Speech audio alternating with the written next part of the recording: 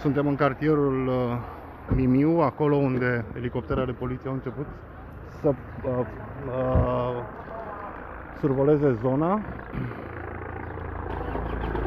Vom merge alături de echipajele de poliție și de militari în cartier.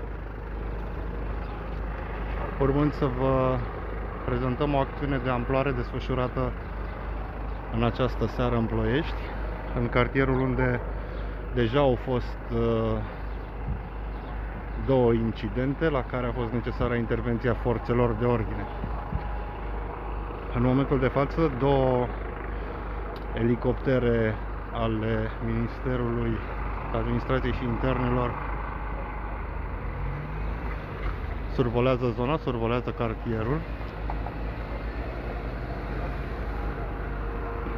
Vom relua această transmisiune live în câteva momente pentru că ne mutăm chiar în uh, mijlocul uh, cartierului, așa că rămâneți aproape de noi, veți vedea în ce constă această acțiune a poliției și a armatei.